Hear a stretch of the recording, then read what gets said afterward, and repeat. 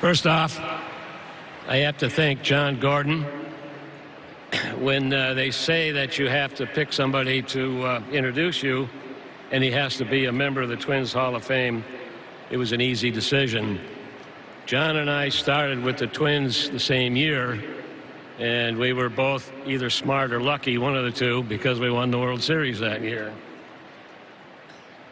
John has always, throughout his whole career, been available to help the Twins in the in the community, speaking to groups, attending activities, and thank you so much for all of that, John.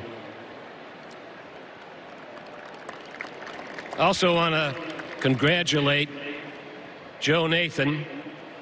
And I was trying to think, so what can I say about Joe? When you're the best, you just say, Joe, you're the best. Thank you.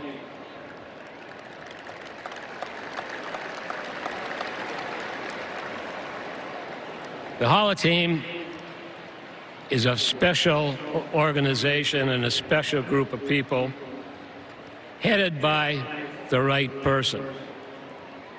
When you say Rod Carew, who's the chairman, to a baseball fan, that's all you have to say. Because when you mention his name, they immediately think this guy steals home plate a lot, gets more hits than anybody else, an outstanding defensive player. He's smart and he's very articulate. He is the perfect person to be the chairman.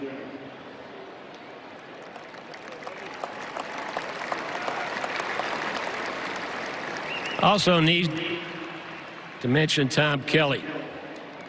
He has agreed to catch the pitch that I will throw later.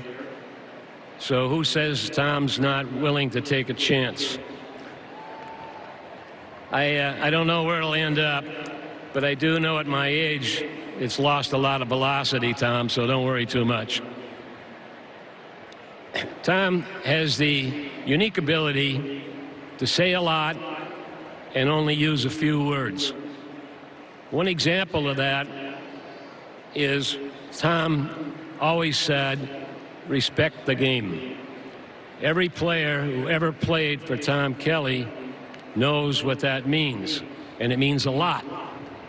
It means if you're playing and you hit a ground ball, you run it out to first base. You come to the ballpark prepared to play because the fans paid good money to watch you, and on and on. It's a few words, but it has a great deal of meaning, and he has other things like that too. Sadly, we need to remember a couple members of the Hall of Fame who are no longer with us. Two of those are players that in their time were the face of the franchise. Harmon Killebrew and Kirby Puckett.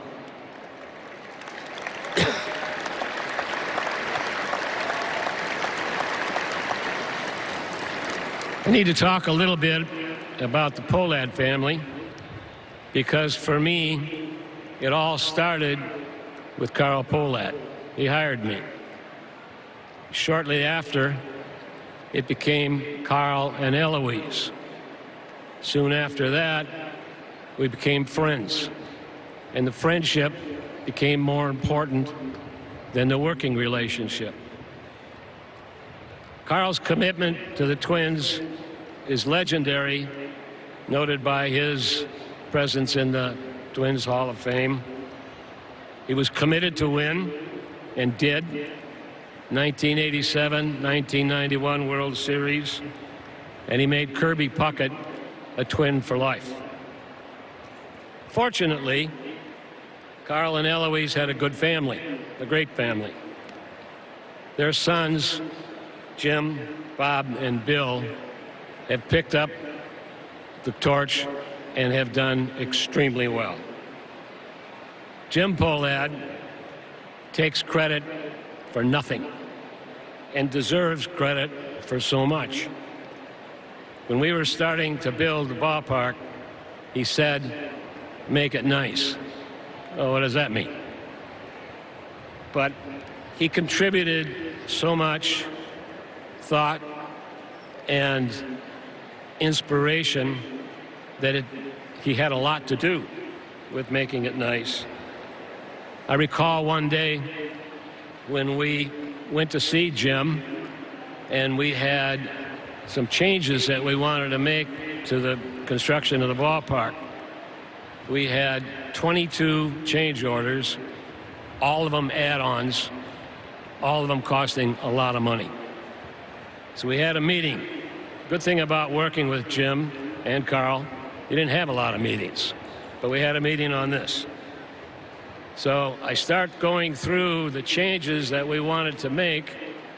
And like I said, there were 22 of them. I got to about number 10 or 11, something like that. And Jim could see the direction that it was going. So he ended the meeting by saying, do them all. That was the end of the meeting. And we did.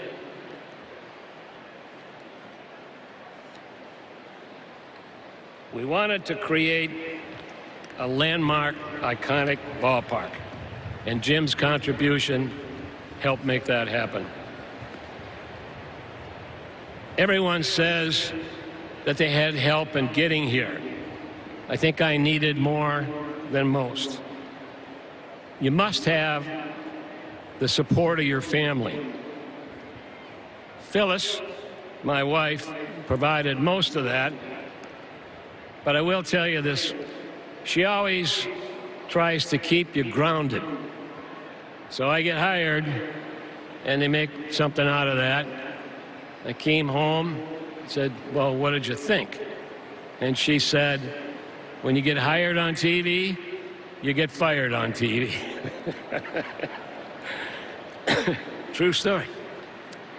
I also had the support of my family, including daughters Lynn Graf and Diane Albrecht. Grandson Scott Graf, and he's here with his Jeff Requesini. Diane and grandson Scott, Al- Scott Albrecht, grandson Patrick Wenzel, Maggie Margaret Wenzel, and great grandson Ethan Wenzel. He just finished playing his baseball for this summer. You also need support from your colleagues, Twins front office. That was mostly orchestrated by Dave St. Peter, who was by then president of the Minnesota Twins. He really encouraged all of the people, although they didn't need a lot, to be involved with the construction, design, and development of Target Field. One person that I need to single out among the many is my 20-year assistant, Joni, Joni Besser. Joni managed our construction office single-handedly. She could do it all, and she did. Baseball leadership is really important because that's why we're here. For me, that was headed up by Andy MacPhail. And Andy had a team that included Bob Gebhardt, Terry Ryan, and Billy Smith. I think Andy did a good job because all of them went on to become general managers. The team that helped Target Field become a reality was our partner, number one, Hennepin County. And for that period of time, Mike Opat became the face of Hennepin County and a really, really strong supporter without whom we wouldn't have been able to do this. So thank you so much for that, Mike. Others making significant contributions that need to be recognized include Bob Starkey, who is now the chief financial officer of Major League Baseball. And for us, he also organized all of our finances and kept track of everything. He was involved in strategy, and he even wrote books. Nobody read the books, Bob. But we did, but we did provide executive summaries included what were in them. Another person who made major, major contributions was our legal counsel, Ralph Strangis, and so much more. When you'd have a meeting, and Ralph was at most of them, he provided energy to the meeting. He lighted up. He was funny. He knew what to do, and he did it. In the legislative area, we had the best government relation person you could get. His name is Ross Kramer. Ross will raise the flag here lately, later because you need to be a veteran to do that. Ross is a veteran unlike most.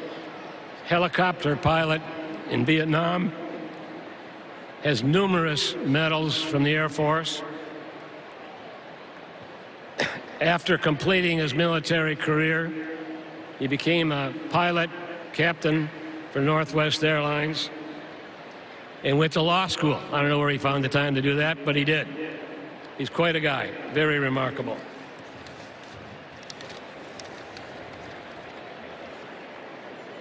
Moving on with more, I'll go back to Dave St. Peter because he personally was more involved than others. He attended every meeting and played a major role in making Target Field what it is today. The architects for Target Field were Populous architects, and the chief architect was Earl Santee. Earl had vision, and fortunately for us, when problems came up, he could solve the problems. We were also blessed by having what, in my view, is the best construction company in the country. And they're here, they're right from here, Mortenson. Mortenson built this on time, ahead of schedule, and the quality of workmanship is better than most around the major leagues, believe me. That's partly, partly deserved for that is their construction superintendent. His name is Dave Mansell. Dave Mansell at times was supervising 900 workers and he could be rather colorful at the time as well. The Metrodome, while serving the state of Minnesota well, also earned its reputation for providing home field advantage. It was great when we won two World Series there.